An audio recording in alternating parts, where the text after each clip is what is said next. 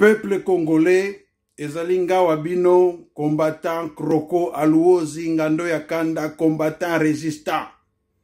naye rapidement malgré maki ya temps mpo na kosalela bino video oyo rapidement mpo na kotalisa peuple congolais ke pays na biso eza kokende bato baza kotala tokoki kotala boye te mboka ekende boyokaki bino moko ke barwandais balingi batonga village moderne na nyirangongo alors heure esouleve tole général peuple aboyi eloko wana meme bango moko bato ya idps ya chilombo bombe batelemaki eloko wana alors babeti shita nsima na systeme kaka ke neti batiki yango me batiki yango te projet yango babongoli yango babunguli yango na ndenge ke bazwi sikoyo kaka place balinga batonga ba village moderne wana baatribue yango na denise nyankeru oyo azali infiltre na bango mwana na bango ya rwandaise oyo bakotisa na kati ya rdc ti na présidence toyebi biso nyonso ndenge yaya na ye azalaki na londres kosala na ambassade ya rwanda donc denise nyankeru aza rwandaise bazwi kaka concession wana oyo barwandais balinga batonga village moderne wana elingaki coûte 26 millions de dollars baattribue yango bapesi yango epai ya mwana na bango denise nyankeru mwasi ya chilombo bombe nde sikoyo nde sikoyo denise nyankeru akozwa mbongo wana epai barwande batongi village moderne wana mpo bainstalle bato bato na bango mpo ekobimaka no eza eloko moko prive ya denise akotya kilive donc bakozwa sikoyo barwande nde bakokotisa bango wana eza nango kaka babongoli kaka mpo esulevaki tole ndenge bato batelemelaki yango bachange eloko wana te bakotonga mboka wana me bachange yango forme mpo na miso bakongole ebimaka no denise diankero moto azotongisa yango likambo oyo ya bana baorphelin azwa 500 orphelin azwa ba 500 plus de 500 orphelin te baza bato baza na baparent na bango baya na congo estce bomonaka bato baya na congo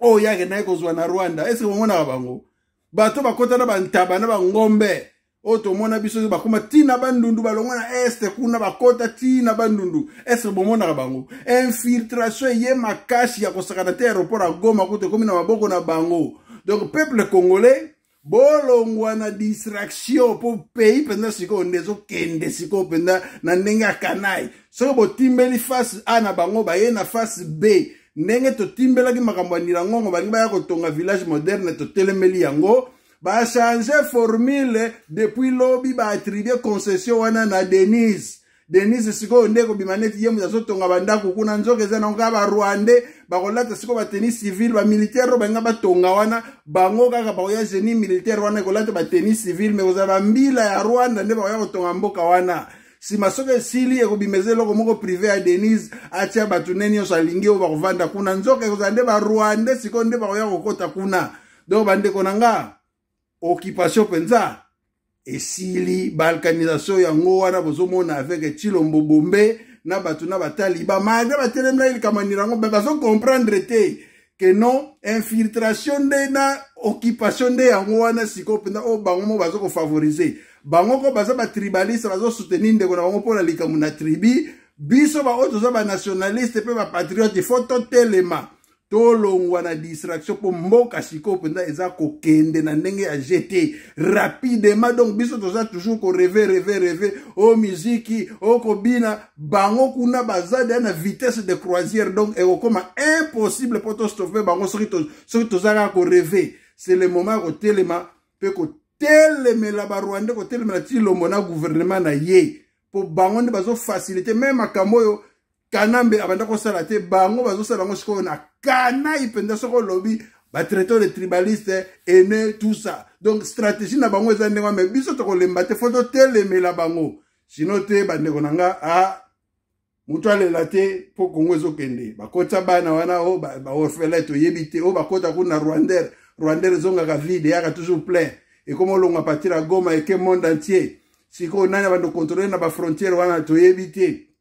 bango moko ba rwanda osali ba formalité kuna yo mati na goma oke poto oke eh, partout place olingi donc nayebi te toloba yango ndenge nini mpo bato bacomprendre ke tshilombo tshisekedi nde moto aye koboma mpenza donc makambo oyo kanamba banda kosala te ye azosala yango sikoyo na kanai mpenza na kanai avec appui ya bandeko na ye ya baluba oyo baza batribaliste eza baluba nyonso te mai groupe ya bato na ye wana ya bataliban bango nde baza kosoutenir ye bango nde baza kopousse ye akende tala ndenge atye kadima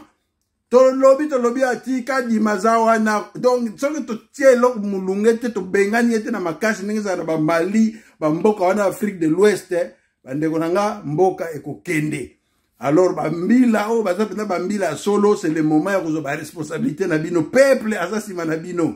bolanda te oyo négociation nini il faut écarte il faut le planke osoti lombo ndenge aza wana tokoki kotikela esusu seconde moko te arenie na mboka wana il faut le neutraliser kolongola ye rapidement mpo ndenge barwandais bazosala boye baza su na baproje mosusu su bakoya nango mboka ya kokende kaka boye tozotala tozobina tozomela tozolia tozokomprendre te pays difikulté eza na congo na kin ya kosakana te kolia mpasi mai mpasi kura mpasi klase mpasi makambo nyonso echec donc eloko moko emasaka na mboka na eza nango te moto akosa bino te bolanda bataliba wana te oyo bazozwa mwa bamiete bamwa bambonga mike mike mpo bakosaka peuple mais peuple azosouffrir na niveau moko ya kosakana te totelema bandeko na ngai ingeta ingeta ingeta